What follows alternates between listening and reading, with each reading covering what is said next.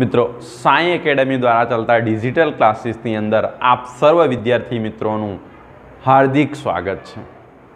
મિત્રો, તમે ધોરણ દસ ખૂબ જ સારા માર્ક્સે પાસ કરીને ધોરણ અગિયાર સાયન્સમાં પ્રવેશ લઈ લીધો છે. આજે આપણે અગિયાર સાયન્સના જે મુખ્ય ત્રણ વિષયો છે મિત્રો chemistry physics maths otherwise biology તમારું જે ગ્રુપની પસંદગી કરો. એની અંદરનો એક સબ્જેક્ટ કેમેસ્ટ્રી સ્ટાર્ટ કરવા જઈ રહ્યા છે મિત્રો. આપણે સમય કરતાં થોડાક લેટ છે મિત્રો કોરોનાના વાયરસના લીધે. લોકડાઉનના લીધે આપણે થોડાક લેટ છે મિત્રો. લેટ હોવાનું કારણ એ છે કે મિત્રો, તમે આપણી ચેનલ પર નજર મારો તો ધોરણ બારનો સિલેબસ રેગ્યુલર ચાલે છે. અને મિત્રો, એ વિદ્યાર્થીઓ બોર્ડના હતા, એટલે થોડી ઘણી અમને પણ મનમાં આશા હતી કે ટૂંક સમયમાં આ પરિસ્થિતિમાંથી આપણે બહાર નીકળીશું લડીને અને ફરી પાછા હતા તે રીતે આપણે રેગ્યુલર ક્લાસીસ ચાલુ થઈ જશે મિત્રો. પરંતુ પરિસ્થિતિ આ લડાઈ લાંબી ચાલે એવી લાગે છે મિત્રો. તો આપણે સમયની માંગને સમજીને શું કરે છે? ઓનલાઈન ડિજિટલ ક્લાસ પર જવાના પ્રયત્ન કરે છે મિત્રો. બની શકે એની અંદર કદાચ તમને રેગ્યુલર ક્લાસીસ જેવું ફિલિંગ ના આવે મિત્રો. અને ના આવશે તો ડેફિનેટલી છે મિત્રો. પણ આની અંદર તમને તમારા કોન્સેપ્ટ એટલે કે ચેપ્ટરને સમજવા માટેના એંસી ટકા તમારા કોન્સેપ્ટ અહીંયા અમે ક્લિયર કરાવવાના પ્રયત્ન કરીશું મિત્રો. તમે જ્યારે ઓનલાઈન ક્લાસીસ એટલે આવા ક્લાસીસનો લાભ લઈ રહ્યા હો, ત્યારે મિત્રો બે ત્રણ વસ્તુ ઘણી અગત્યની બને છે. એક તો પહેલાં તમે વીડિયો જ્યારે જુઓ છો, ત્યારે તમે રેગ્યુલર ક્લાસમાં બેઠા હોય એવું વિચારો મિત્રો. તમે એક રેગ્યુલર ટીચિંગ પ્રોસેસ સાથે જોડાયેલા હો. નહીં કે તમે ઘરના વાતાવરણની અંદર તમે બીજું કામ કરતાં કરતાં બીજે કોઈ વસ્તુ ખાતા ખાતા કે અન્ય કોઈ પ્રોસેસ ઊંઘીને લેક્ચર જોવાનો વ્યર્થ, એમાં ટોટલી સમયનો વ્યર્થ કરવા બરાબર છે. મિત્રો, એટલે તમે આજે આપણે આ લેક્ચર સ્ટાર્ટ કરવા જઈ રહ્યા છે, આ સબ્જેક્ટ સ્ટાર્ટ કરવા જઈ રહ્યા છે. ધોરણ દસની અંદર બાકી રહેલી તમામ કસરોને આપણે સાયન્સની અંદર પૂરી કરવાની છે મિત્રો. તો તમે તમારું સંપૂર્ણ ધ્યાન એ તરફ વાળીને નોટબુક, પેન ટેક્સ્ટબુક તમારા હાથમાં છે. તમારું સમગ્ર મટીરિયલ લઈને મિત્રો ભણવા ખાતર અધરવાઇઝ દેખાવા ખાતર, પણ તમારી પાસે એટલું મટીરિયલ હોવું જોઈએ કે જોનાર વ્યક્તિને એવું લાગે કે સાયન્સનો વિદ્યાર્થી અભ્યાસ કરી રહ્યો છે. હવે મિત્રો, વધારે સમય ના બગાડતા આજે આપણે ફર્સ્ટ ચેપ્ટર રસાયણ વિજ્ઞાનની કેટલીક પાયાની સંકલ્પનાઓ છે મિત્રો. તમે કોઈ પણ વિજ્ઞાન કોઈ પણ વિજ્ઞાનની વાત કરું છું, રસાયણ વિજ્ઞાન નહીં વિજ્ઞાનને મિત્રો આપણે મુખ્યત્વે ત્રણ ભાગની અંદર ક્લાસિફાઈડ કર્યું છે. રસાયણ વિજ્ઞાન, ભૌતિક વિજ્ઞાન અને જીવ વિજ્ઞાન. તમારી પાસે ટેક્સ્ટબુક છે. ટેક્સ્ટબુકની ઉપર તમે કવર પણ ચડાવી લીધેલું છે. તમારું નામ પણ લખી દીધેલું છે. તમે એની ઉપર નામ એના વાંચી લીધેલા છે સબ્જેક્ટના અને ઘણા બધા ઉત્સાહી વિદ્યાર્થીઓ, ખાસ કરીને વિદ્યાર્થીઓ જે ધોરણ દસની બાકી રહેલી તમામ કસોને અહીં પૂર્ણ કરવા માંગે છે, એ વિદ્યાર્થીઓ તો પહેલા ચેપ્ટરનું રિવિઝન પણ કરી લીધું હશે. અને કરેલું જ હોવું જોઈએ મિત્રો. કારણ કે અહીં આપણે એક એવી રેસમાં ભાગ લેવા જઈ રહ્યા છે, જેના શરૂઆતના તબક્કે આપણો ઉત્સાહ એક અગત્યનો ભાગ ભજવશે. એટલે તમારો એક ઉત્સાહ એ જ અગત્યનો ભાગ હશે અને મિત્રો, તમારો જેમ વિષય પ્રત્યેનો રસ હશે, તો ટીચરે ઝક મારીને એનો રસ બતાવવો પડશે. વિદ્યાર્થી જો તમારો રસ ઓછો પડ્યો, તો શિક્ષકનો પણ વિષય પ્રત્યેનો રસ ધીરે ધીરે ઘટતો જાય છે. એટલે તમારે એની અંદરથી મેળવવાનું છે. તમારા એવા પ્રયત્નો હોવા જોઈએ. સર, વીડિયો લેટ થયા તો કેમ લેટ થયા? એવી અનેક કોમેન્ટો આવી જવી જોઈએ મિત્રોની છે હવે જ્યારે આ ચેપ્ટર સ્ટાર્ટ કરવા જઈ રહ્યા છે, મેં તમને કીધું રસાયણ વિજ્ઞાન. તો મિત્રો, ત્રણ વિજ્ઞાનની અંદર રસાયણ વિજ્ઞાન, જીવ વિજ્ઞાન અને ભૌતિક વિજ્ઞાન તો પહેલો પ્રશ્ન હું મિત્રો તમને એ પૂછું. વિજ્ઞાન શું છે? વિજ્ઞાન શું છે? વિજ્ઞાન શું છે મિત્રો એટલો તમને ખબર હોય તો કોઈ વિદ્યાર્થી વિજ્ઞાનની ફિક્સ ડેફિનેશન કોઈ વ્યક્તિ ભલેને એની ઉંમર એંસી વર્ષ કેમ ના થઈ હોય ભણાવતા ભણાવતા. કોઈ પણ વ્યક્તિ એની ફિક્સ વ્યાખ્યા ના આપી શકે મિત્રો વિજ્ઞાનની. વિજ્ઞાનની કોઈ એક ફિક્સ વ્યાખ્યા નથી, પણ વિજ્ઞાન એ માનવ જાતિના વિકાસ માટે માનવ દ્વારા કરાતા અથાગ પ્રયત્નોનું એક સંગ્રહ છે, એક ચિહ્ન છે મિત્રો. કે માનવ જાતિ એટલે કે આ હ્યુમન સોસાયટીના ડેવલપમેન્ટ માટે હ્યુમન્સે જે અનેક પ્રયત્નો કર્યા છે, સમગ્ર પરિણામ વિજ્ઞાનની અંદર છે મિત્રો. એટલે કે વ્યક્તિને પોતાની સમસ્યાઓને સોલ્વ કરવા માટે જે પ્રયત્નો કરતા જાય છે, એનું જે સોલ્યુશન લાવે છે, એ સોલ્યુશનને આપણે વિજ્ઞાનની અંદર સમાવેશ કરીએ છીએ મિત્રો. જે રીતે હાલના સમયે આપણે કોરોના વાયરસની સામે લડાઈ લડી રહ્યા છે. તો મિત્રો, એના પર ઘણા બધા રિસર્ચ ચાલી રહ્યા છે. શરૂઆતના સમયે તમે કદાચ જુઓ, એની ટેસ્ટિંગ કિટ બનાવવા માટેના પ્રયત્નો થયા. એ વિજ્ઞાનનો એક ભાગ છે. ટેસ્ટિંગ કિટથી આપણે સરળતાથી જાણી શકીશું મિત્રો, કઈ વ્યક્તિને આ બીમારી છે. એ વિજ્ઞાન છે મિત્રો, એ વિજ્ઞાન જોડાયેલું છે. એની વેક્સિન બનાવવા માટેના પ્રયત્નો ચાલી રહ્યા છે. તમે જુઓ છો આપણા ઇન્ડિયાની અંદર પુણેના એક વૈજ્ઞાનિકે કદાચ કોરોનાની ટેસ્ટ એ કરી છે. તે રીતે વેક્સિન બનાવવા માટે અલગ અલગ યુનિવર્સિટીઓ, અલગ અલગ હોસ્પિટલો, અલગ અલગ વૈજ્ઞાનિકો જોડાયેલા છે. મિત્રો, જેથી આપણને લાંબા ગાળે આની રાહત મળી જાય. આપણે એનામાંથી સંપૂર્ણપણે મુક્ત થઈએ એ પણ વિજ્ઞાનનો એક ભાગ છે મિત્રો. શું આના પછી બીજું કંઈ હશે? એ દરેક સમસ્યાઓનું આપણે સમાધાન કરતા જઈશું તે વિજ્ઞાન છે. એની અંદરનો જ એક પાર્ટ છે મિત્રો રસાયણ વિજ્ઞાન, જેને આપણે કેમેસ્ટ્રીના નામે ઓળખતા હોઈએ છીએ. તો હવે આ રસાયણ વિજ્ઞાન શું છે? જો કોઈ કહેવામાં આવે કે તમને રસાયણ વિજ્ઞાન તમે શેના તરીકે વ્યાખ્યાયિત કરી શકો? તો રસાયણ વિજ્ઞાન એટલે હું મિત્રો એવું કહી શકું, દ્રવ્યોનું જે છે, દ્રવ્યોનું સંગઠન, એનું જે સંગઠન બંધારણ અને ગુણધર્મોનો અભ્યાસ કરતું વિજ્ઞાન. અને ગુણધર્મોનું અભ્યાસ કરતું વિજ્ઞાન. એટલે રસાયણ વિજ્ઞાનને જો હું શોર્ટમાં વ્યાખ્યાયિત કરવાની ટ્રાય કરું મિત્રો, તો હું એવું કહી શકું, દ્રવ્યનું સંગઠન, બંધારણ અને એના ગુણધર્મોનો અભ્યાસ કરતું વિજ્ઞાન. તો મિત્રો પ્રશ્ન એ ઊભો થાય, સાહેબ, દ્રવ્ય એટલે શું? તમે તો શુદ્ધ વિજ્ઞાનની ભાષા બોલી રહ્યા છો. શુદ્ધ વિજ્ઞાનની ભાષા નથી, વિદ્યાર્થી મિત્રો. આ તમે ધોરણ નવથી દ્રવ્ય દ્રવ્ય બોલતા આવ્યા છે. દ્રવ્ય એટલે તમે એવું કહી શકો, જે પદાર્થો દળ દળ અને કદ ધરાવે છે. શું ધરાવે છે? દળ અને કદ ધરાવે છે. તેવા પદાર્થોને તમે કયા નામે ઓળખી શકો છો? દ્રવ્ય તરીકે ઓળખી શકો છો. મિત્રો, એટલે રસાયણ વિજ્ઞાન શું છે? એ ટૂંકમાં એનું તમામ એના ગુણધર્મોની અભ્યાસ કરશે એના બંધારણ, એનું સંગઠન કેવું છે? એટલે ઇન શોર્ટ હું એવું બોલી શકું, એ દ્રવ્યનું અભ્યાસ કરતું એક વિજ્ઞાન છે. હવે મિત્ર, આપણને એ પણ ખબર છે નવમા ધોરણના વિજ્ઞાનમાં દ્રવ્યો એ સૂક્ષ્મ કણોના બનેલા છે. દ્રવ્યો શેના બનેલા છે? સૂક્ષ્મ કણોના બનેલા છે. અને એ સૂક્ષ્મ કણોને આપણે નામ આપેલું છે અણુ કે પરમાણુ. એને કયા નામે ઓળખો છો તમે? અણુ કે પરમાણુ. એક કરતાં વધારે પરમાણુઓ ભેગા થઈને શું બનાવતા હોય છે અણુ? એટલે કોઈ પણ દ્રવ્ય અણુ કે પરમાણુનું બનેલું છે. હવે મિત્રો, જો રસાયણ વિજ્ઞાન દ્રવ્યનું અભ્યાસ કરતું હોય દ્રવ્યનું અભ્યાસ કરતું હોય તો સીધી ભાષામાં છે કે રસાયણ વિજ્ઞાન અણુ અને પરમાણુઓનું અભ્યાસ કરતું એક વિજ્ઞાન છે.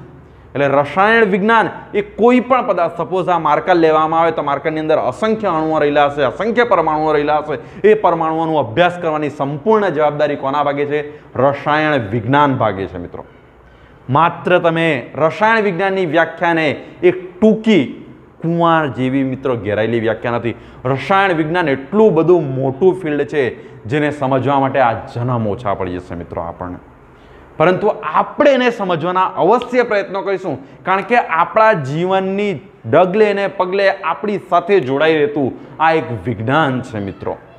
એટલે હું જો રસાયણ વિજ્ઞાનને મને કોઈ વ્યાખ્યા આપવાનું કહેવાનો એ કહેવામાં આવે તો હું એવું કહી શકું, કોઈ પણ અણુ કે પરમાણુઓનો અભ્યાસ કરતું જે વિજ્ઞાન છે, એ વિજ્ઞાનને હું રસાયણ વિજ્ઞાનના નામે ઓળખી શકું છું, મિત્રો. મેં તમને આગળ કીધું તેમ, રસાયણ વિજ્ઞાન ખૂબ જ મોટું એક ફેલાયેલું વિજ્ઞાન છે. તો આપણે રસાયણ વિજ્ઞાન એટલે કે આ કેમેસ્ટ્રીને મિત્રો, આપણે ત્રણ પ્રકારની અંદર મેં એને ડિવાઈડ કર્યા છે. એમ તો અસંગ ઘણી બધી રસાયણ વિજ્ઞાનની શાખાઓ હશે, ઘણી બધી બ્રાન્ચો હશે, પણ એની અંદર મુખ્યત્વે ત્રણ પ્રકારની છે મિત્રો. તેના પર હું તમને ફોકસ કરાવવાનો પ્રયત્ન કરું. તો પહેલું આપણી પાસે આવે છે ફિઝિકલ કેમેસ્ટ્રી. Physical chemistry. મિત્રો, તમે જ્યારે માસ્ટર્સ લેવલ પર અભ્યાસ કરી રહ્યા તમારું સ્ટડી ત્યારે તમને ચોઈસ કરવાનું આવે છે. બીજું ઇનઓર્ગેનિક. Inorganic chemistry.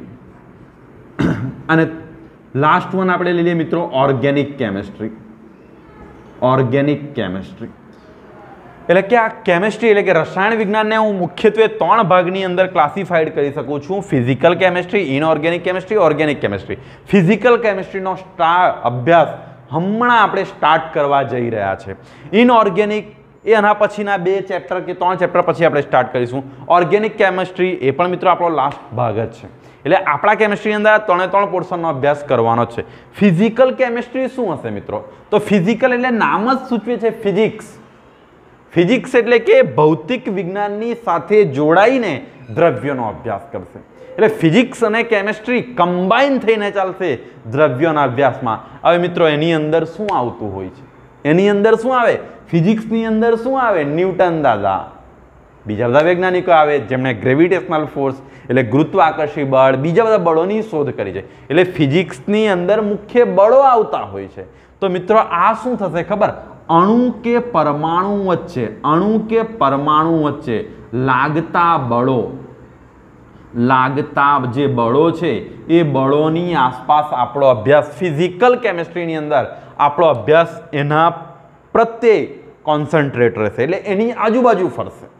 ફિઝિકલ અણુ કે પરમાણુ વચ્ચે લાગતા જે બળો છે, એના પરથી જે ઘટનાઓ બને છે, એની આસપાસ આપણું આ વિજ્ઞાન રહેશે. ઇનઓર્ગેનિક કેમિસ્ટ્રી શું છે મિત્રો? તો પૃથ્વીના પેટાળમાંથી મળી આવતા જે દ્રવ્યો, જે તત્વો છે, એટલે કે જે ઘટકો છે, એ ઘટકોનો અભ્યાસ આપણે ઇનઓર્ગેનિક કેમિસ્ટ્રીની અંદર કરવાના છે. ખાસ ધ્યાન રાખજો. પૃથ્વીના પેટાળમાંથી મળી આવતા મળી આવતા જે પદાર્થો છે, એ પદાર્થોનો અભ્યાસ તમે તેની અંદર કરવાના છે? ઇનઓર્ગેનિક કેમેસ્ટ્રીની અંદર કરવાના છે. ઓર્ગેનિક કેમેસ્ટ્રી શું છે મિત્રો? તો ઓર્ગેનિક કેમેસ્ટ્રીની અંદર તમે હાઇડ્રોકાર્બન પદાર્થોનો અભ્યાસ કરવાના છે. હાઇડ્રોકાર્બન જેની અંદર હાઇડ્રોજન અને કાર્બન રહેલું હશે. શું હશે મિત્રો? હાઇડ્રોજન અને કાર્બન રહેલું હશે. દેખાય છે ને બોર્ડ પર? ચલો મિત્રો એટલે આપણે મુખ્ય ત્રણ કહી શકીએ છીએ. ફિઝિકલ કેમેસ્ટ્રીની અંદર આપણે અણુ કે પરમાણુ વચ્ચે લાગતા બળોનો અભ્યાસ કરીશું. ઇનઓર્ગેનિક કેમેસ્ટ્રી એટલે આપણું આવર્ત કોષ્ટક, જેની અંદર મેન્ડેલિફે બનાવેલા આવર્ત કોષ્ટક, આધુનિક આવર્ત કોષ્ટક, એની અંદર જે તત્વોના સ્થાન આપવામાં આવે છે, એકસો તેર કે એકસો ચૌદ તત્વો, એનો અભ્યાસ ટૂંકમાં પૃથ્વીના પેટાળમાંથી જે કંઈ મળી આવે છે, એને આપણે ઇનઓર્ગેનિક કેમેસ્ટ્રીની અંદર એનો અભ્યાસ કરીશું. ઓર્ગેનિક કેમેસ્ટ્રી એટલે હાઇડ્રોકાર્બન મિત્રો. નામ તમને બે તત્વો લાગે છે હાઇડ્રોજન અને કાર્બન પણ એવું નથી, એટલું વિશાળ વિજ્ઞાન છે ને એ મિત્રો. તમે જ્યારે એની અંદર આવશો ત્યારે તમને લાગશે આ કયા સાગરમાં હું ફસાવી ગયો. એટલું મોટું વિજ્ઞાન છે મિત્રો એને સમજવા માટે આપણે થોડોક સમય જશે પણ મિત્રો આપણે એના પર પહોંચીશું ત્યારે ખરેખરનો એનો આનંદ લઈ શકીશું. હવે મિત્રો ફિઝિકલ કેમિસ્ટ્રી આ મેં તમને કીધા. એના સિવાય ઘણા બધા કેમિસ્ટ્રી છે. દાખલા તરીકે તમે જુઓ, પ્લાસ્ટિક ઉદ્યોગ હાલમાં સૌથી વધારે ઉપયોગમાં લેતા પ્લાસ્ટિક છે. એટલે એ કેમેસ્ટ્રી પોલિમર કેમેસ્ટ્રી કાપડ ઉદ્યોગમાં, રંગકોમાં, ડાઈ બનાવવા માટે. એટલે આ બધા કેમેસ્ટ્રીની જ મિત્રો. રસાયણ વિજ્ઞાનની જ અલગ અલગ શાખાઓ છે. જંતુનાશક દવાઓ, દાખલા તરીકે જેને આપણે કીટનાશકો કહીએ છીએ પોલિમર પદાર્થો. પોલિમર પદાર્થો તરીકે તમે જેને કાપડ ઉદ્યોગમાં વપરાતા રંગકો. આ બધા જે મિત્રો છે, પછી વાળ, આપણે ડાઈ, જેનો આપણે અલગ અલગ રંગો કરવા માટે વાળમાં કે બીજા રંગ અલગ. આ મિત્રો શું છે? રસાયણ વિજ્ઞાનની અલગ અલગ શાખાઓ છે. પણ મુખ્યત્વે આપણું ફોકસ અહીંયા ત્રણ છે એટલે હું એના પર આપણે ફોકસ કરતો નથી. એટલે મિત્રો, રસાયણ વિજ્ઞાન શું છે? તો એ દ્રવ્યનું સંગઠન, બંધારણ અને એના ગુણધર્મનો અભ્યાસ કરતું વિજ્ઞાન છે, જે અણુ અને પરમાણુના લેવલ પર ગઈને એટલે એટલા સૂક્ષ્મ લેવલ પર ગઈને શું કરે છે? દ્રવ્યનો અભ્યાસ કરે છે. મિત્રો, આ તો મેં તમને કેમિસ્ટ્રીનો ઓવરવ્યુ આપ્યો. હવે કેમિસ્ટ્રીનું મહત્ત્વ કેટલું છે? તો રસાયણ વિજ્ઞાનનું મહત્ત્વ એના તરફ થોડુંક એ લાખીએ. જેથી તમારો અભ્યાસમાં આ વિષય પ્રત્યેની રુચિ જળવાઈ રહે બે વર્ષ સુધી. એટલો ડોઝ મિત્રો, કોઈ પણ સબ્જેક્ટ તમે જ્યારે એનો સ્ટાર્ટ કરો છો, ત્યારે ટેક્સ્ટ બુકના ઓથરોનો એટલો પ્રયત્ન હોય છે પહેલા ચેપ્ટરની અંદર કે તમારા મનની અંદર એક એ સબ્જેક્ટની, એ વિષયની એક એવી છાપ પાડવામાં આવે કે જેથી તમારા મનની અંદર એ વિષય પ્રત્યેની જે રુચિ છે જળવાઈ રહે, બલકે વધારે એ વિષય પ્રત્યેનો લગાવ તમારો વધે. ઓકે મિત્રો, તો હવે રસાયણ વિજ્ઞાનની અગત્યતા તરફ આપણે ધ્યાન આપીએ. મિત્રો, તમે રસાયણ વિજ્ઞાનની અગત્યતા તરફ ટેક્સ્ટબુકની અંદર વાંચવાના પ્રયત્ન કરો. તેની અંદર ઘણી બધી વસ્તુઓ લખવામાં આવી છે. સપોઝ કંઈ લખવામાં આવી છે, મગજની કાર્ય પદ્ધતિ કોમ્પ્યુટર ચલાવવું, હવામાનની અગાઈ વગેરે માટે રસાયણ વિજ્ઞાન ઉપયોગી છે. તે રીતે મિત્રો, શું લખવામાં આવ્યું છે? ખાતર, દાખલા તરીકે અહીંયાથી ખાતરો, સાબુ, ડિટર્જન્ટ સાબુ, ડિટર્જન્ટ કે અન્ય વસ્તુઓની વગેરેની બનાવટમાં શું થાય છે? રસાયણ વિજ્ઞાનનો ઉપયોગ કરવામાં આવે છે. તે રીતે તમે કીટનાશકો કે જંતુનાશકો જે છે, કીટનાશકો કે જંતુનાશકોની બનાવટમાં પણ શું કરવામાં આવે છે? રસાયણ વિજ્ઞાનનો ઉપયોગ કરવામાં આવે છે, મિત્રો. આમ તો રસાયણ વિજ્ઞાન અનેક ફિલ્ડોની અંદર યુઝ થાય છે. પોલિમર પદાર્થો જે છે, કાર્બનિક સંશ્લેષિત રેસા, કાર્બનિક સંશ્લેષિત રેસા આ બધા મિત્રો, તમે આ બધી વસ્તુ વિશે ડિટેલમાં ભણશો. કાર્બનિક સંશ્લેષણ રેસા કાપડ ઉદ્યોગમાં, કાપડ ઉદ્યોગોની અંદર, આનો શું કરવામાં આવે છે, ઉપયોગ કરવામાં આવતો હોય રસાયણ વિજ્ઞાનની અંદર. અને કાપડ ઉદ્યોગ તો મિત્રો આપણા ગુજરાતની એક જાન છે. ગુજરાતની એક શાન છે કાપડ ઉદ્યોગ. એની અંદર આ બધા તો પ્લાસ્ટિક ઉદ્યોગ પણ આપણા ત્યાં ખૂબ જ મોટા પાયે વિકસ્યો છે. એટલે એ બધા ઉદ્યોગોની અંદર રસાયણ વિજ્ઞાનનો ઉપયોગ કરવામાં આવતો હોય છે મિત્રો. કેટલીક મિત્રો અહીંયાથી ખાસ આ પોઈન્ટ પર ફોકસ કરજો. કેટલાક એવા રોગો છે જેના માટે દાખલા તરીકે કેન્સરની વાત કરવામાં આવે તો કેન્સર માટેની જે દવા છે, અનેક પ્રકારની તમામ રોગોની જે દવા છે, એ રસાયણ વિજ્ઞાન થકી બનાવવામાં આવતી છે. કેન્સરની સારવાર માટે વપરાતી સિસપ્લેટિન કઈ દવા વપરાય છે મિત્રો? કેન્સરની સારવાર માટે વપરાતી તમારી જે દવા છે સીસ્પ્લેટિન અને બીજું એનું કંઈક નામ હશે મિત્રો.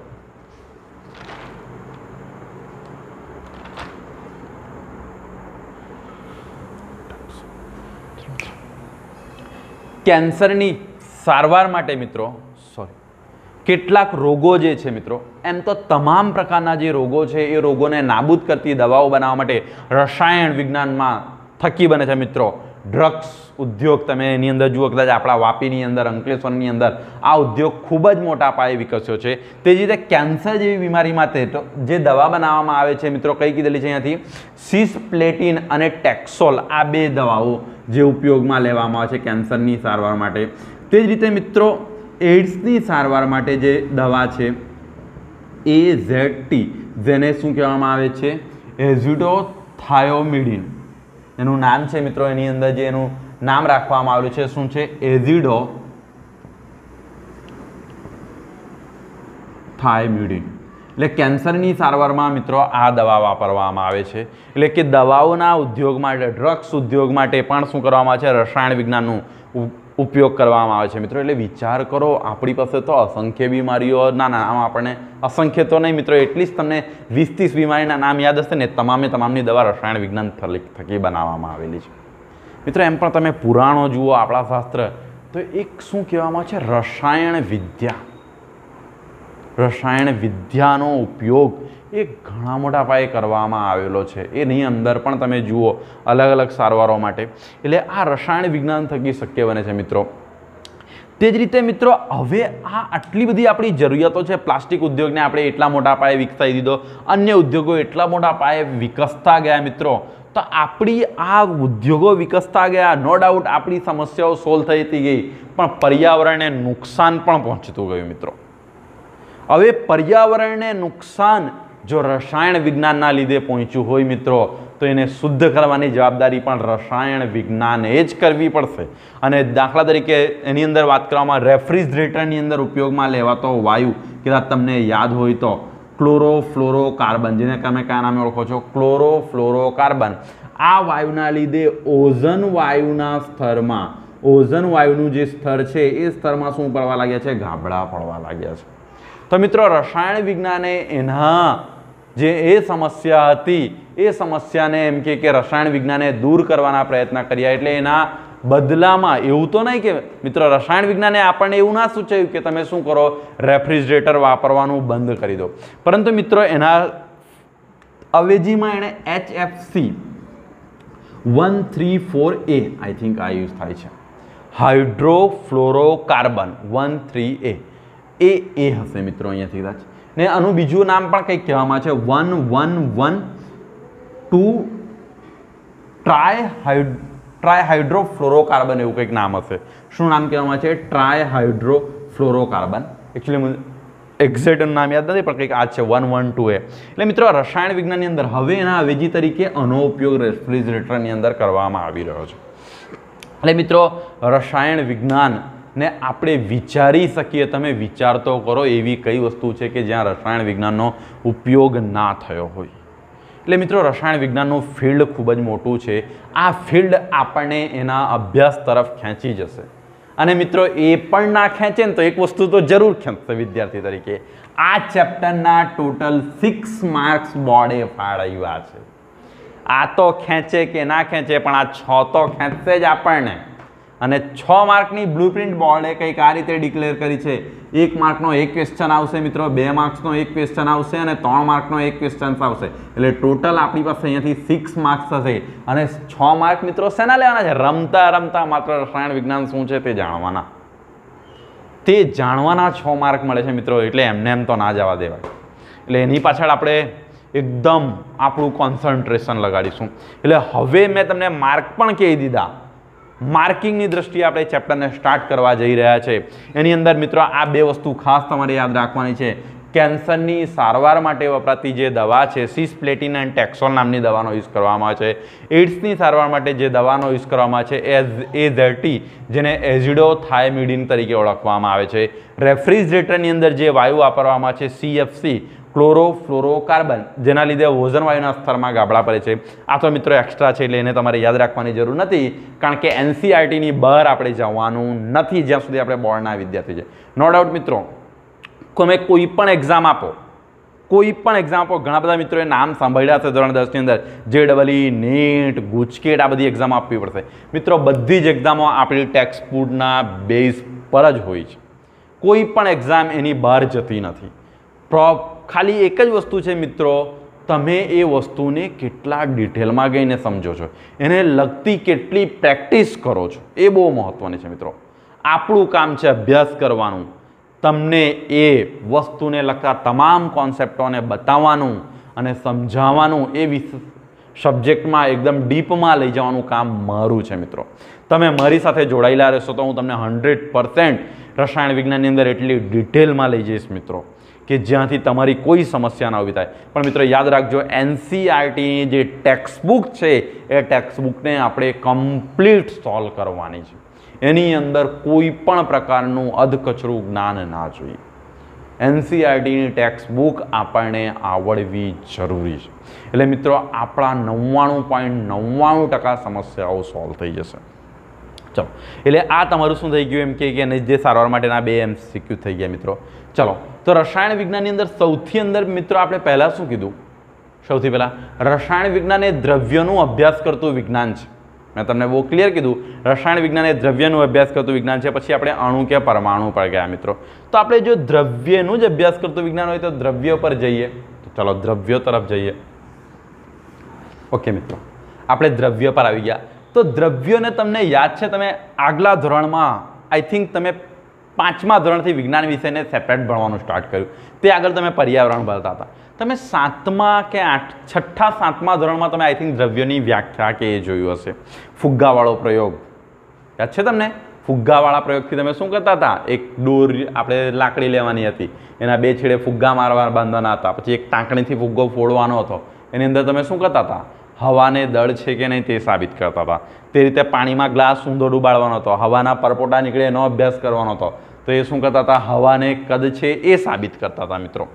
એટલે ટૂંકમાં આપણે દ્રવ્યનો અભ્યાસ ત્યાંથી સ્ટાર્ટ કર્યો હતો મિત્રો. તો દ્રવ્યોની જે ભૌતિક અવસ્થા છે, એટલે ભૌતિક અવસ્થા એટલે આપણને જે જોવા મળે છે તે. મારી ભૌતિક અવસ્થા એટલે હું તમને દેખામ છું તે. પણ મારી મનો અવસ્થા એટલે માનસિક અવસ્થા શું હશે એ તમે ના જાણી શકો.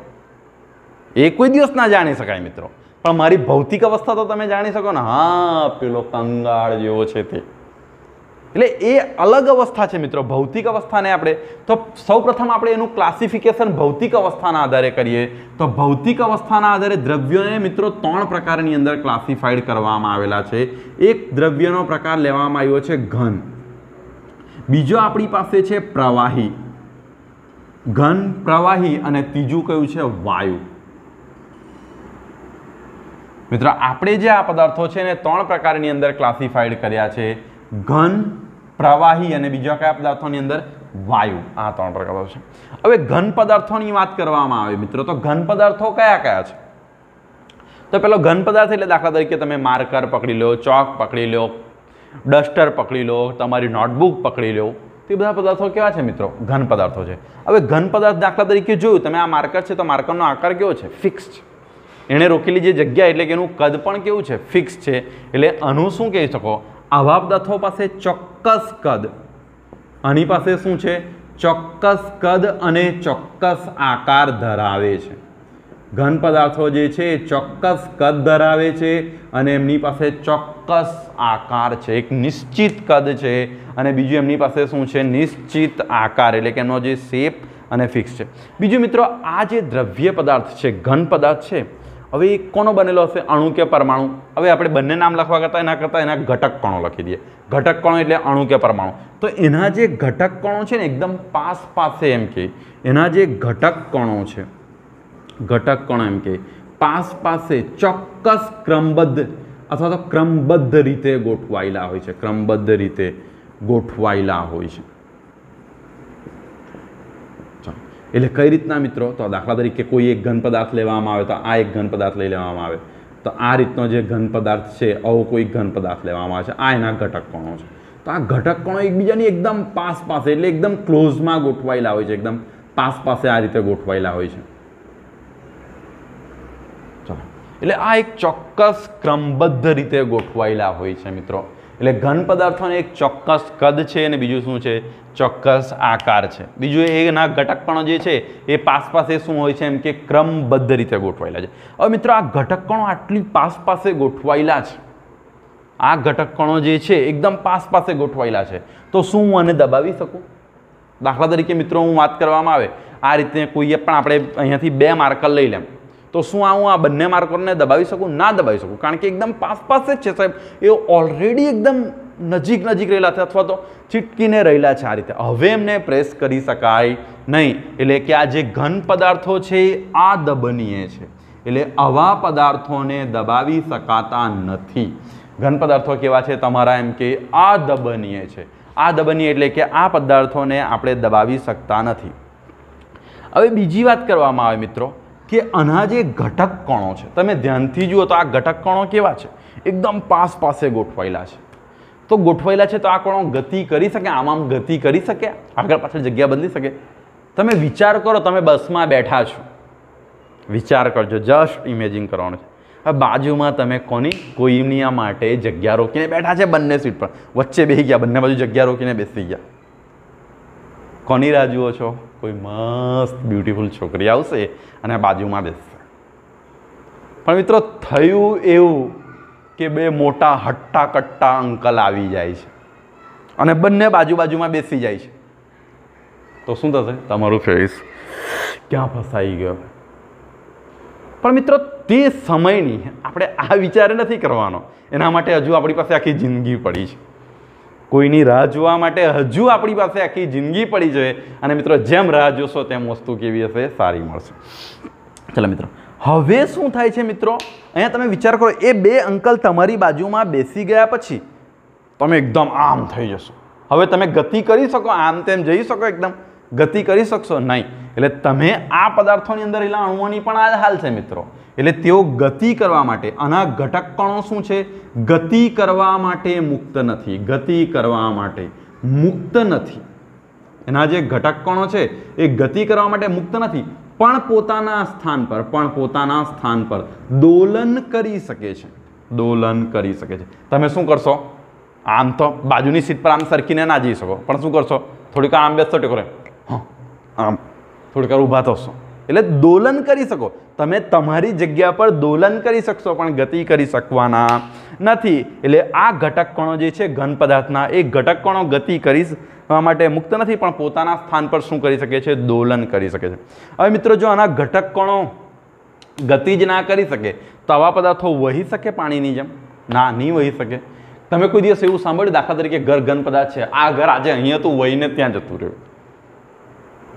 એવું કોઈ દિવસ બન્યું? આ માર્કર અહીંયા મૂકેલી હતી, વહીને ત્યાં જતી રહી. લાથ મારીને લઈ જાય એ અલગ વસ્તુ છે. એટલે આવા પદાર્થો વહન પામી શકતા નથી. એ શું થાય છે? વહન પામી શકતા નથી. એટલે ઘન પદાર્થો એ વહન પામી શકતા નથી. એટલે આ મિત્રો, ઘન પદાર્થોના ગુણધર્મ થયા. નોંધતા જજો ફટાફટ. ચોક્કસ, પહેલાં તો શું છે? ઘન પદાર્થો ચોક્કસ કદ અને ચોક્કસ આકાર ધરાવે છે. બીજો, એના ઘટક કણો પાસ પાસે ક્રમબદ્ધ રીતે ગોઠવાયેલા હોય છે. આવા પદાર્થો શું હોય છે? આ દબનીય હોય છે, એટલે એમને સહેલાઈથી દબાઈ શકાતા નથી. એના ઘટક કણો ગતિ કરવા માટે મુક્ત નથી, પરંતુ શું થાય છે? પોતાના સ્થાનની આસપાસ દોલન કરી શકે છે અને એ શું કરી શકે છે? વહન પામી શકે છે. પ્રવાહી પદાર્થોની વાત કરવામાં આવે મિત્રો. તો પ્રવાહી પદાર્થોને જો અહીંયાથી ખાસ જોઈએ, એમને ચોક્કસ કદ છે. પ્રવાહી પદાર્થોને શું છે? ચોક્કસ કદ છે. ચોક્કસ કદ છે, પરંતુ ચોક્કસ આકાર, પરંતુ તેને જે પાત્રમાં ભરો, પરંતુ ચોક્કસ આકાર નથી. ચોક્કસ આકાર નથી. પ્રવાહી પદાર્થોને ચોક્કસ કદ છે, પણ ચોક્કસ આકાર નથી. એ શું કરે છે? તેને જે પાત્રમાં ભરવામાં આવે, તેને જે પાત્રમાં ભરવામાં આવે, તે પાત્રનો આકાર ધારણ કરે છે. તે પાત્રનો આકાર ધારણ કરી લે છે. એટલે પ્રવાહી પદાર્થો જે છે એને ચોક્કસ કદ અને ચોક્કસ આકાર નથી, પરંતુ એને જે પાત્રની અંદર ભરવામાં આવે તે પાત્રનો આકાર ધારણ કરે તમે ડોલની અંદર ભરો તો ડોલ જેવો આકાર, પાણીના ગ્લાસની અંદર ભરો તો ગ્લાસ જેવો આકાર, લોટામાં ભરો તો લોટા જેવો આકાર, એટલે એને જેની અંદર ભરો તેવો આકાર ધારણ કરે પણ હા, એનું કદ ફિક્સ છે. બીજું મિત્રો વાત કરવામાં આવે તો એના ઘટક કણો જે છે, ઘન પદાર્થની સરખામણીમાં ઘન પદાર્થની સરખામણીમાં દૂર રહેલા છે. ઘન પદાર્થોની સરખામણીમાં દૂર રહેલા હોય છે. એટલે આના જે પદાર્થો છે એના ઘટકકણો ઘન પદાર્થોની સરખામણીમાં શું હોય છે, આ રીતે થોડા દૂર દૂર રહેલા હશે મિત્રો. એટલે તેઓ પોતાના સ્થાનની આસપાસ ગતિ કરવા માટે મુક્ત હશે. અસ્તવ્યસ્ત ગતિ તો ના ધારણ કરી શકે, પણ પોતાના સ્થાનની આસપાસ શું થશે ગતિ કરી શકે. બીજું, તે પણ આ દબનીય છે. હવે મિત્રો, તમારા મનની અંદર પ્રશ્ન થાય પાણી અદબનીય છે. પાણીને હા મિત્રો પ્રેસ દબાવી ના શકાય. કઈ રીતે? દાખલા તરીકે તમારે ટેસ્ટ કરવો તો તમે હોળીની જે પિચકારી લાવો છો એ પિચકારી આગળનો નોઝલ બંધ કરી દેજો આંગળીથી. અને પછી પાછળથી એનો જે પંપ છે દબાવજો નહીં દબાશે મિત્રો. એનો મતલબ પાણીને દબાવી શકાય નહીં. તે એ અથવા ઇન્જેક્શનમાં તમે આગળનો નોઝલ બંધ કરો અને પાછળનું એ સિરિંજ દબાવવાનો પ્રયત્ન કરો, નહીં દબાવી શકો મિત્રો તમે. એટલે પાણી પણ કેવો ગુણધર્મ એટલે કે પાણી એટલે કોઈ પણ પ્રવાહી કેવા ગુણધર્મો ધરાવે છે?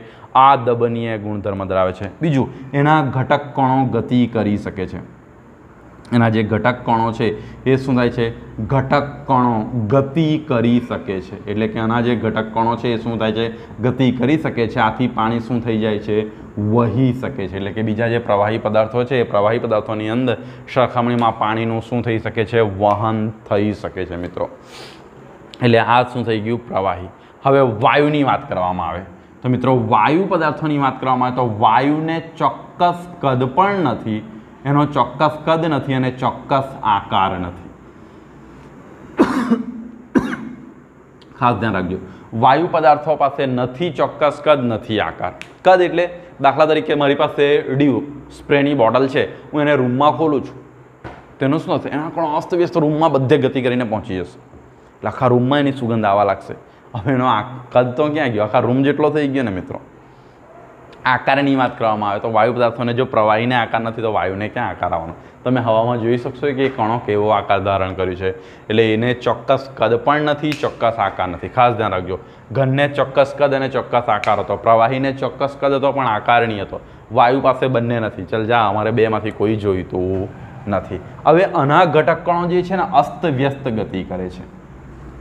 એક કણ અહીંયા હોય એક કણ અહીંયા હોય, એક કણ અહીંયા હોય, એટલે આના ઘટક કણો એકદમ અસ્ત, વ્યસ્ત ગતિ ધરાવે છે ને એકબીજાથી ઘણા દૂર રહેલા હોય એટલે એમની વચ્ચે કોઈ પણ પ્રકારનું બળ જ નથી લાગતું. જો આની અંદર યાદ રાખજો, આના ઘટક કણો વચ્ચે લાગતું બળ છે ને મિત્રો, સૌથી વધારે હશે. એટલે એક ઘટક કણ બીજાને દૂર જવા જ નહીં દે. મિત્રો, અહીં બહુ ગાઢ પ્રેમ હશે એકબીજાના. આજુબાજુના પરમાણુ સાથે એકદમ ગાઢ પ્રેમ હશે. પછી અહીંયા થોડો પ્રેમ ઓછો થતો જશે, થોડા થોડા દૂર જશે અને અહીંયા તો આખી આપણા જેવી સિસ્ટમ આવી જશે મિત્રો. એટલે આ એક વસ્તુ છે. બીજું, વાયુ પદાર્થને તમે જો ફુગ્ગાની અંદર હવા બદલે તો તમે એને દબાવી શકો છો. એટલે આ પદાર્થોને દાબીએ છે. આ પદાર્થો શું છે? દાબીએ છે અને વધુ પ્રમાણમાં દબાવી શકાય છે. એટલે આ પદાર્થોને તમે દાબીએ કરી શકો છો. બીજું, વાયુ પદાર્થો જે છે, એના ઘટકણો અસ્તવ્યસ્ત ગતિ કરીને સંપૂર્ણ ફેલાઈ શકે છે.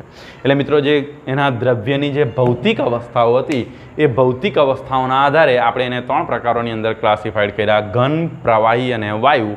એની અંદર ઘનનો આપણે અભ્યાસ જોયો, પ્રવાહીનો જોયો અને બીજો આ તરફ શું આવી ગયો? વાયુનો આવી ગયો મિત્રો.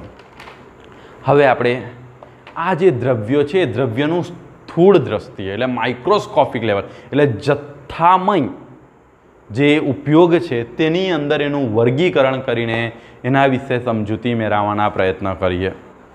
ઓકે મિત્રો, તો હવે આપણે દ્રવ્યનું જ્યારે ભૌતિક અવસ્થાના આધારે વર્ણન જોયા પછી એમનું સ્થૂળ દ્રષ્ટિએ એટલે જથ્થામય લેવલ પર એમનું વર્ગીકરણ જોઈએ. તો મિત્રો, જ્યારે દ્રવ્ય છે એ જથ્થામય લેવલ પર ત્રણ ભાગોની અંદર સોરી બે પાર્ટની અંદર મુખ્યત્વે ક્લાસિફાઈડ કરી શકાય. તો પહેલો ભાગ છે શુદ્ધ પદાર્થો. શુદ્ધ પદાર્થો. અને બીજો ભાગ તમારી પાસે આવે છે જે શુદ્ધ પદાર્થો છે તે, અને બીજું છે મિશ્રણ. કયા છે? શુદ્ધ પદાર્થો અને મિશ્રણ. શુદ્ધ પદાર્થોને મિત્રો પાછા આપણે બે ભાગોની અંદર વર્ગીકૃત કરી શકીએ છીએ. તત્વ અને સંયોજન. બે ભાગોની અંદર વર્ગીકૃત કરવામાં આવે છે. તત્વ અને બીજું કયા ભાગમાં વર્ગીકરણ કરવામાં આવે છે? સંયોજન. ચલો મિત્રો, હવે આ વસ્તુને સમજવાના પ્રયત્ન કરીએ. તત્વ શું છે? અથવા તત્વને આપણે કોને કહીએ છીએ એમ કે, તો એક જ પ્રકારના જે ઘટક કણો હોય, એટલે કે એક જ પ્રકારના એમ કે જે કણો ધરાવતા પદાર્થો છે. આની અંદર શું હોય છે? એક જ પ્રકારના, એક જ પ્રકારના એમ કે ઘટક કણો ધરાવતા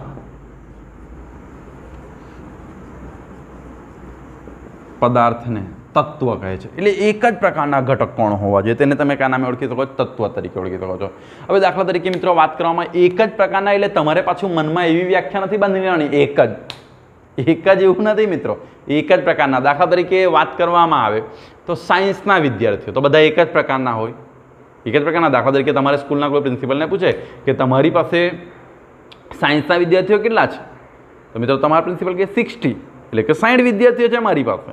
એટલે આ એક જ પ્રકારના વિદ્યાર્થીઓ એમ તો એમની પાસે આર્ટ્સના વિદ્યાર્થી હશે કોમર્સના વિદ્યાર્થી હશે, પણ તમને એક અલગ ગ્રુપમાં મૂકીને સાયન્સ એટલે એક તત્વ તરીકે, એટલે આમાં એક જ પ્રકારના પણ એક કરતાં વધારે હોય. એટલે કોઈએ મનમાં એવું નહીં બાંધી લેવાનું કે એક જ. દાખલા તરીકે વાત કરવામાં આવે તો હાઇડ્રોજન. દાખલા તરીકે જો હાઇડ્રોજનની અંદર બે રહેલા હોય છે.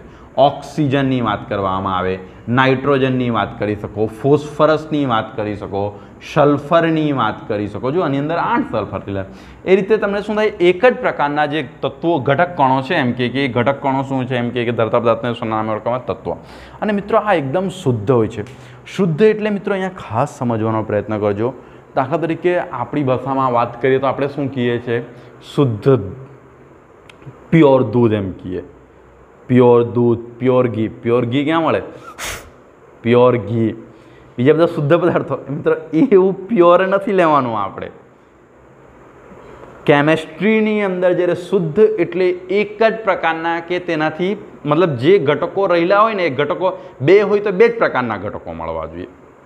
ત્રણ હોય તો ત્રણ જ પ્રકારના ઘટકો હોવા જોઈએ. એટલે આપણે જોવાનું છે અંદર રહેલા જે ઘટક કણો છે, એટલે કે એના પરમાણુઓ છે, એક જ પ્રકારના હોય, બે પ્રકારના હોઈ શકે અથવા ત્રણ. એટલે કે આ પ્રકારના એક જ હોઈ શકે. હવે આની અંદર શું હોય છે એમ કે એક કરતાં વધુ પ્રકારના ઘટકો એમ કે.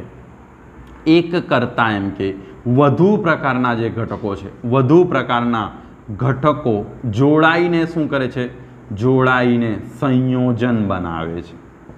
એટલે એક કરતાં વધુ પ્રકારના ઘટકો જોડાઈને સંયોજનમાં દાખલા તરીકે તમે એચ લઈ લો, કાર્બન ડાયોક્સાઇડમાં સીઓ લઈ લો. દાખલા તરીકે વાત કરવામાં આવે ગ્લુકોઝ. ગ્લુકોઝનું સૂત્ર યાદ રાખજો. C six H twelve O six sucrose એટલે જેને આપણે ખાણ કહીએ છીએ. કયું છે? C twelve H twenty two O eleven I think અને તમે કયા નામે ઓળખી શકો છો. ખાણ તરીકે ઓળખવામાં આવે છે. આ તમારું શું છે? ગ્લુકોઝ છે, મિત્રો. આ નામોને યાદ રાખવાની ટ્રાય કરવાની. હવે આની અંદર જુઓ હાઇડ્રોજન ઓક્સિજન રહેલા છે. આની અંદર કાર્બન ઓક્સિજન છે. અહીંયા કાર્બન હાઇડ્રોજન ઓક્સિજન રહેલા છે. એટલે આ બધા મિત્રો શું કહેવાય? સંયોજન કહેવાય. બીજી એક વસ્તુ ધ્યાનમાં રાખજો, સંયોજનમાં રહેલા ઘટકો એનો ગુણધર્મ ગુમાવી બેસે છે. દાખલા તરીકે વાત કરવામાં આવે તો હાઇડ્રોજન જે છે, એ દહનશીલ વાયુ છે. હાઇડ્રોજન દહનશીલ છે, બળતણ તરીકે ઉપયોગમાં લે છે. ઓક્સિજન દહનની પ્રક્રિયામાં મદદ કરે છે. છતાં એ બંનેમાંથી બનેલું સંયોજન પાણી આગ હોલવવા માટે વપરાય છે. એટલે મિત્રો, ખાસ ધ્યાન રાખજો, સંયોજનમાં રહેલા જે ઘટકો છે, એ ઘટકો શું કરે છે? એમ કે એના જે ગુણધર્મ, એટલે કે એમના પોતાના ગુણધર્મો શું કરતા હોય છે? ગુમાવી દેતા હોય છે, એમ કે દાખલા તરીકે. હવે મિશ્રણની વાત કરવામાં આવે તો મિશ્રણને મિત્રો, બે કે તેથી વધારે ઘટકો મિક્સ થાય, ત્યારે આની આનું સંગઠન એક પ્રકારનું હોય છે મિત્રો. જે શુદ્ધ સંયોજનની અંદર શું હોય? એક કરતાં વધારે. હવે મિશ્રણ શું હોય છે? જો સંયોજનમાં એક કરતાં વધારે તત્વો એટલે મિક્સ થાય છે. પણ મિશ્રણની અંદર શું છે? એક કરતાં જે છે, વધુ પદાર્થો એટલે કે આ સંયોજન દાખલા તરીકે પાણી, કાર્બન ડાયોક્સાઇડ, વાયુ કે બીજું કોઈ લેવામાં આવે. એટલે શું થાય છે? એક કરતાં વધારે પદાર્થો એમ કે. અહીંયા એક કરતાં વધારે પદાર્થો. એક કરતાં વધારે પદાર્થો. મિશ્ર થઈને શું બનાવે છે? સંયોજન બનાવે સોરી મિશ્ર કરીને મિશ્રણ બનાવે છે. એટલે એક કરતાં વધારે. અહીંયા એક કરતાં વધારે તત્વો હતા, જ્યારે અહીંયા શું છે? એક કરતાં વધારે. હવે એને બે પ્રકારની અંદર ક્લાસિફાઈડ કરવામાં આવ્યું છે. સમાંગ મિશ્રણ. કયા પ્રકારનું? હું થોડુંક આ તરફ લખું છું. અહીંયાથી અને આ રીતે ક્લાસિફિકેશન કરવામાં આવ્યું છે. એક કયું લેવામાં આવ્યું છે? સમાંગ મિશ્રણ. સમાંગ મિશ્રણ. અને બીજું કંઈક તમારી પાસે વિસમાંગ મિશ્રણ. ચલો હવે સમાંગ મિશ્રણ કોને કહેવામાં આવે મિત્રો? તો શું થાય? એનું જે મિશ્રણની અંદર અનુસંગઠનોનું પ્રમાણ એમ કે, મિશ્રણમાં એમ કે, સંગઠનનું પ્રમાણ. દરેક એક સમાન અથવા તો એક સમાન જોવા મળે. જોવા મળે એટલે કે આવા મિશ્રણ જે છે, એમાં રહેલા જે ઘટકો એક સંપૂર્ણ રીતે મિશ્ર થઈ જાય છે. શું થાય? સંપૂર્ણ રીતે મિશ્ર થાય એટલે કોઈ પણ ઘટકનું પ્રમાણ દરેક જગ્યાએ કેવું જોવા મળે છે? એક સરખું જ જોવા મળે. દાખલા તરીકે ખાંડ અને પાણીનું મિશ્રણ બનાવી દો. ખાંડને પાણીની અંદર ઓગાળી કાઢો. મીઠું અને પાણીનું મિશ્રણ બનાવો. એટલે આ બધા મિશ્રણો કેવા કહેવાય? સમાન. કારણ કે ખાંડનું પ્રમાણ તમે મિશ્રણ બનાવ્યું, પછી ખાંડને નીચેથી શરબતનો એક ટીપું લો કે ઉપરથી એક શરબતનો ટીપું લો. એ મીઠું જ લાગવાનું છે મિત્રો. એટલે આવા જે ઘટકો છે એનું પ્રમાણ દરેક જગ્યાએ કેવું જોવા મળે છે? એક સમાન. બીજું, સમાન મિશ્રણમાં રહેલા પદાર્થો સામાન્ય અલગીકરણની પદ્ધતિથી, સામાન્ય અલગીકરણની પદ્ધતિથી અલગ કરી શકાય નહીં. અલગ કરી શકાય નહીં. એટલે આ એક ખાસ ધ્યાન રાખવાનું છે.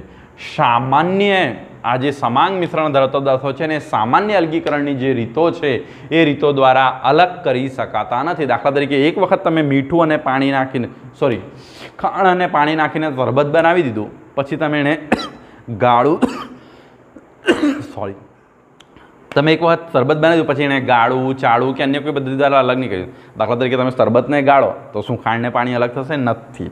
એટલે મિત્રો અને સામાન્ય પદ્ધતિ દ્વારા અલગ કરી શકાય નહીં. આ તમારું શું થયું? સમાંગ મિશ્રણ. એટલે ખાંડનું પાણીમાં દ્રાવણ, મીઠાનું પાણીમાં દ્રાવણ એ સમાંગ મિશ્રણના ઉદાહરણ.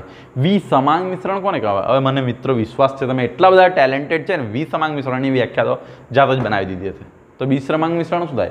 આના જે ઘટકો છે, એના સંગઠનનું પ્રમાણ એક સમાન હોવાનું નથી. દાખલા તરીકે ઘઉં અને કાંકરા મિક્સ થઈ જાય.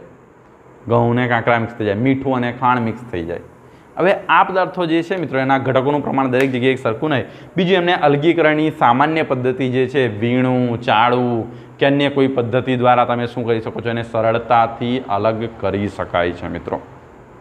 આ આપણા શું થયા? એમ કે અહીંયાથી દ્રવ્યનું જે હતું, જથ્થામય લેવલ પર એમનું વર્ગીકરણ એ રીતે આપણે મિત્રો થયો. એટલે મિત્રો, ખાસ અહીં ધ્યાન રાખજો, રસાયણ વિજ્ઞાનનો આજે આપણે ફર્સ્ટ લેક્ચર પૂર્ણ કરી રહ્યા છે. કાલે આપણે એક નવા ટોપિક સાથે મળીશું. અને અત્યારે તમારા પાસે નવી ઊર્જા હોવી જોઈએ, વિષય પ્રત્યેનો અનેરો નવો ઉત્સાહ હોવો જોઈએ મિત્રો. બીજી એક વસ્તુ તમારે ધ્યાનમાં રાખવાની છે મિત્રો. આજે આપણે આ સ્ટાર્ટ કર્યું છે તો આ કન્ટેન્ટને તમે તમારા મેક્સિમમ ફ્રેન્ડ સુધી પહોંચાડજો. એટલે મેક્સિમમ શેર સબસ્ક્રાઈબ અને લાઈવ કરજો મિત્રો. જે તમારો એક પાર્ટ હશે, જેથી આપણે આની અંદર, કારણ કે મિત્રો, તમારી, તમે આ ટોપિકને વ્યવસ્થિત સમજ્યો છે તમારી એ ફિલિંગ મારા સુધી કઈ રીતે પહોંચશે મિત્રો? તો તમારી કોમેન્ટ દ્વારા, તમારી લાઈક દ્વારા મિત્રો એ રીતે પહોંચશે. એટલે એની અંદર પણ ખાસ પાર્ટિસિપેટ કરજો. ઓકે દરેક સ્ટુડન્ટને ઓલ ધ બેસ્ટ